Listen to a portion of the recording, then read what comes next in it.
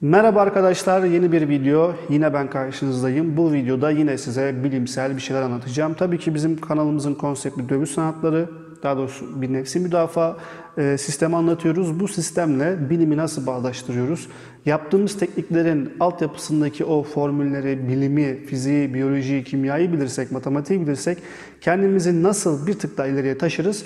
Birazcık bunlardan bahsedeceğim. Konu aslında şu, e, daha önce video çekmiştim hassas noktalarla alakalı bir biyoloji videosu çekmiştim. Fizikle alakalı da nasıl daha güçlü yumruk atarız diye bir video çekmiştim. Bu videoları da bulup izleyebilirsiniz. Bu videoda bu ikisini birleştirip karşı tarafa yaptığınız, vurduğunuz vuruşun nasıl daha etkili olacağından, nasıl daha etkili olabileceğinden bahsedeceğiz. İyi seyirler. Umarım size faydalı olur. Hemen çok uzatmadan başlayalım. İlk formülüm şu. X eşittir V çarpı T. Yol eşittir hız çarpı zaman. Şimdi bunu nasıl biz dövüş sanatlarında kullanıyoruz? Şöyle bir durum hayal edin. Karşınızda bir tane saldırgan var ve siz bir guard aldınız. Bu bir dur şeklinde olabilir, bir işte box guard da olabilir. Ya aklınıza gelebilecek herhangi bir guard. Burada guard'ın önemi şu arkadaşlar. Eğer ben rakibe daha çabuk yumruk atmak istiyorsam zamansal olarak ona ya daha yakın olmam gerekiyor. Onun benden bana daha yakın olduğundan ya da benim daha hızlı olmam gerekiyor. Ama formülümüz sabit. Bunu şöyle düşünün. Karşındaki rakip size böyle yakanızdan tuttu, eliniz böyle yere çekti. Buradan bir tane çok sağlam bir yumruk atacak. Bu yumruk elbette çok güçlüdür sizin onu atacağınız yumruktan. Ama ben bu formülde şunu kullanmak istiyorum. Benim rakiple aramdaki mesafe eğer rakibin o yumruğunun benim çeneme olan mesafesinden daha kısaysa ikimiz aynı hızda dahi olsak benim ona ulaşma sürem azalacaktır. Yani burada doğru guard alma, ellerinizi önde tutma, boks içinde böyledir, işte Muay Thai içinde böyledir veya herhangi bir branş ne yapıyorsanız yapın. Elleriniz zaten sizin en büyük savunma ve saldırı silahınız. Bunları rakibe ne kadar yakın tutabilirseniz rakibin size olan mesafesini uzak gördüğünüzde siz ona daha kısa bir mesela sürede ulaşabilirsiniz. Yani bir yakamı tuttu. Elini böyle geriye doğru çekti. Bana tam vuracak. Benim ellerimse böyle yani ne diyorsun sen gibi yapıyorum. Benim buradan ulaşma sürem onun bana ulaşma süresinden daha kısa olacağı için ben avantaj elde edeceğim ve onun bir miktar e, dikkat dağınıklığı veya burada şu mesafeden ulaş, üretebildiğim güç ne kadar artırabilirsem ki birazdan bunu formüllerle anlatacağım. Bu güç de fazlaysa hızım aynı dahi olsa etkim daha fazla olacaktır. Şimdi hepimiz tabii böyle iri yarı kaslı insanlar değiliz. Biz de dövüş sanatlarıyla uğraşıyoruz ama işte böyle zaten çok da eleştiri geliyor bilmeyen cahil arkadaşlar tarafından. Siz işte çok kaslı değilsiniz, güçlü değilsiniz, vurdunuz işte ben size bir vursam şöyle olur gibi. Bu cahil insanlar da e, videoyu izliyorlarsa en azından biraz bilgilenirler. Şimdi arkadaşlar ben 80 kilo bir insanım. Ee, ve karşımda 80 kilo bir başka vatandaş olduğunu düşünün ve yine kendimi koruma durumunda kaldım. Ee, teknik kullanacağım. İkimiz aynı kilodaysak arkadaşlar şöyle bir formül var. Kinetik enerji formülü 1 bölü 2 m v kare. Yani kütlenin 1 bölü 2'si hızın karesiyle doğru orantılı olan bir formülden bahsediyorum. Eğer ben 80 kiloyum karşımdaki de 80 kiloysa formülde bu kısımları eşitlendiği için atabiliriz. Ve kare kısmı çok önemli. Çünkü eğer ben rakibimden daha hızlıysam, şöyle düşünün, 2 birim hızlı olduğumuzu düşünün. V kareden 4 birimlik bir kuvvet çıkacak, e, enerji çıkacak. Ama ben onun iki katı hızlı olduğumu düşünürsem, Onunki 4 iken benimki bu sefer 4'ün karesi 16'dan rakipten 4 kat fazla kinetik enerji üretebiliyorum demektir. Bu benim rakibe vurduğumda rakipte hissedilen hasarı ve e, benim vuruş gücümü artıracak bir avantajdır arkadaşlar. O yüzden özellikle boksa baktığınızda veya işte bokstan çok örnek veriyorum çünkü çok bilinen bir branş olduğu için sürekli hani yapmasak da izliyoruz bir yerlerde denk geliyor. E, hafif siklet grubunda olanlar, işte tüy siklet, horoz siklet, orta siklete yakın olan gruplar çok daha çevik, hızlıdır.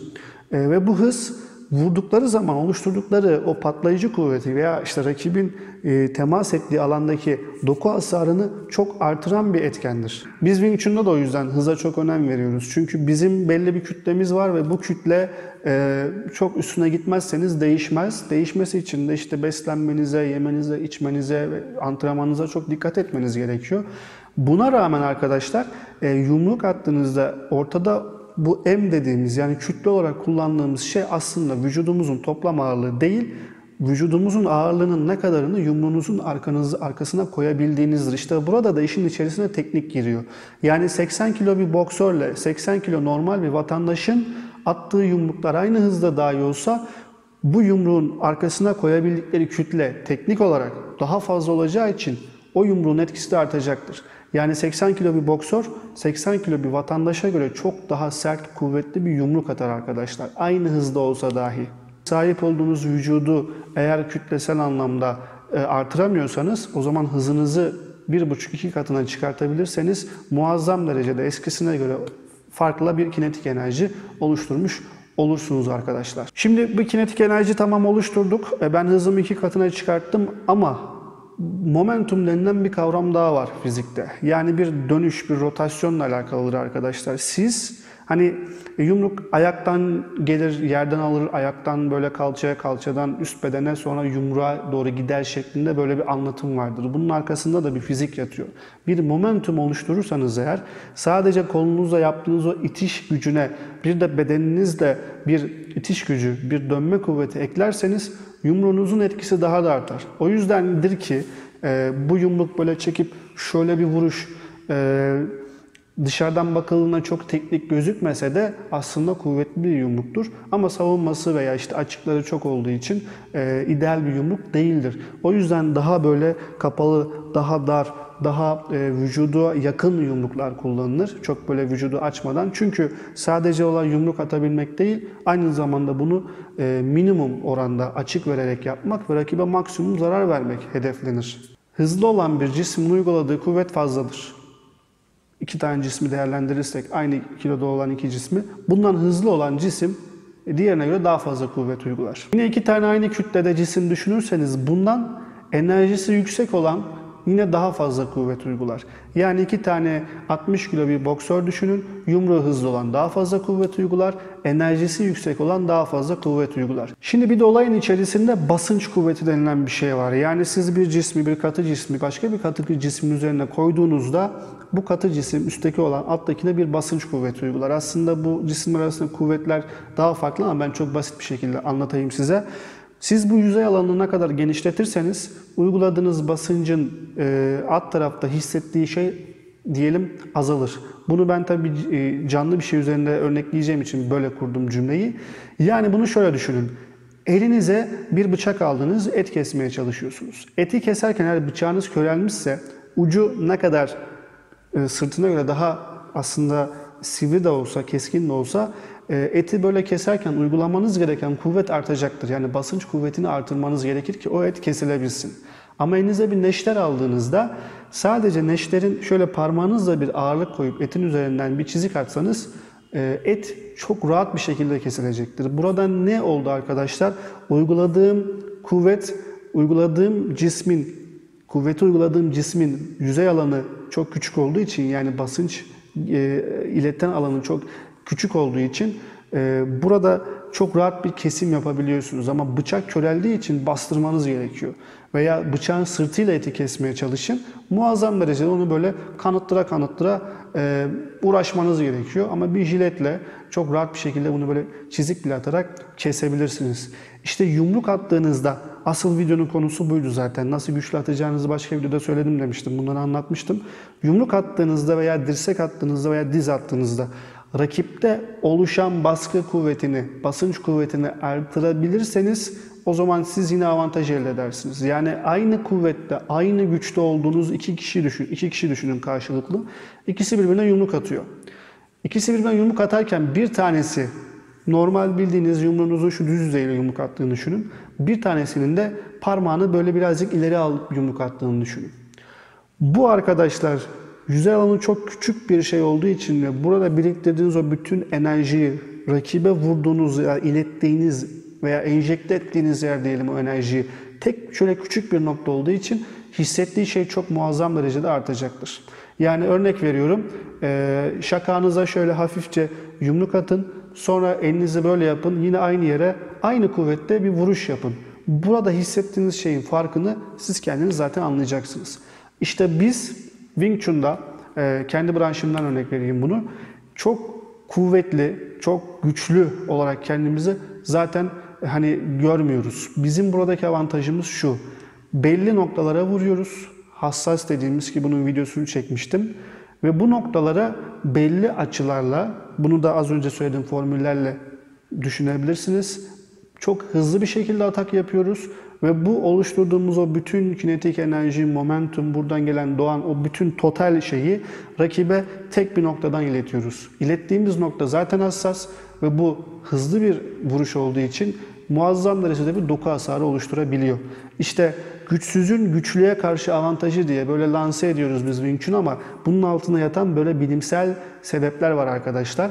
O yüzdendir ki siz boks yaparken tabii ki bir boks eldiveni giyeceksiniz. Rakibe vururken e, basıncın, basınç alanını, yüzeyini değiştiremiyorsunuz atak yaparken. Ama dışarıda kavgada elin keskin kısmıyla da vurabilirsiniz. Böyle de vurabilirsiniz ki bunlarla ilgili aslında videolar çektik. Nasıl vuruş yapılabilir gibi. Dirsek arkadaşlar ucu çok sivridir, kemiktir. Bütün o momentumu, bütün o oluşturduğunuz kinetik enerjiyi dirsek darbesiyle bir kemiğe vurursanız vurduğunuz yer arkadaşlar ciddi anlamda hasar görür branşları yaparken yani yaptığınız şey her neyse bu judo da olur, güreş de olur, şudur budur neyse artık bunları yaparken bunun arkasındaki fiziği birazcık merak etmenizi ve bunu araştırıp kendinizi daha iyi geliştirmenizi istiyorum aslında. Ee, bir kediyi sırt üstü şöyle tutun. Bıraktığınızda dört ayak üstüne düşer. Hiç merak ettiniz mi bilmiyorum yani kedi neden dört ayak üstüne düşer diye. Çünkü arkadaşlar kedi momentumu ve torku e, fizik olarak bilmiyor ama beden olarak çok iyi yapabiliyor, kullanabiliyor. Yani 5 metreden yukarıdan hatta 1 metreden aşağı attığınızda sırt üstü çevirip bıraktığınızda kedi hemen dört ayağın üzerine döner. Bunun sebebi de kedinin belini arkadaşlar orta nokta olarak düşünün. Arka ayaklarının düşerken açısıyla ön ayaklarının açısını farklı tutar. Bu da kedinin o orta noktasından bir dönüş açısı, bir tork oluşturur ve arkadaşlar önce öndeki iki sonra arkadaki iki yere değer. Bunu kroşe atarken de kullanabilirsiniz. Şöyle çok geniş bir kroşe çok hızlı ve sert değildir açısal momentumdan dolayı. Bunu daha hızlı yapmak için kroşeyi çok daha vücudunuza yakın atmanız lazım. Yani dirsek 90 derece olursa eğer kroşe atarken şöyle bir kare yaptığınızı düşünün. Şöyle aşağıdan göstereyim. Veya işte biraz daha 90'dan biraz daha bir tık büyük açıda bir kroşe atarsanız belinizden sağladığınız o momentum burada daha hızlı bir dönüş yapar. İşte buz pateninde izlemişsinizdir belki. Kollarını açarak dönen bir e, patenci kollarını kapattığı anda olduğu yerde çok muazzam bir hızlanma yakalar. Bu açısal momentumla alakalı bir durumdur.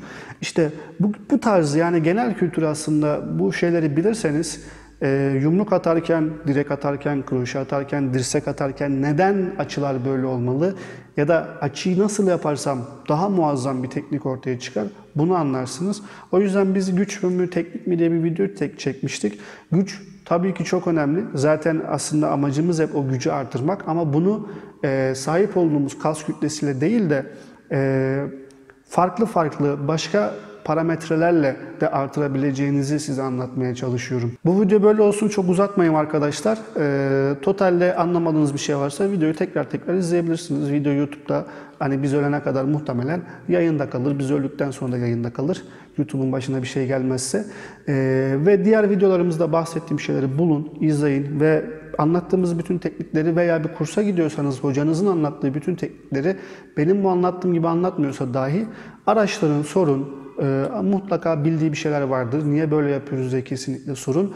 Ve en doğruyu, en doğru açıyı vücudunuza öğretmeye çalışın. E, videolardan niye öğrenilmez hemen bunu da kısaca söyleyeyim. Çünkü bunlar arkadaşlar e, videoda siz bunu kamerada şöyle görürsünüz direği ama ben bunu böyle atmışımdır. Siz bunu böyle zanneder, böyle çalışırsanız yolu yani vücudunuz bu yolu ezberler. Daha sonra bunu böyle yapmak da çok zor iştir arkadaşlar. O yüzden mutlaka bir kursa gidip bir gözetim altında bunları öğrenirseniz çok daha e, verimli bir yatırım yapmış olursunuz diye düşünüyorum. E, izlediğiniz, dinlediğiniz için de teşekkür ediyorum. Açıklamalar kısmında arkadaşlar bilgiler var bize ulaşmak isteyenler için. Yorumlar kısmında sorularınızı bekliyorum. İyi çalışmalar diliyorum.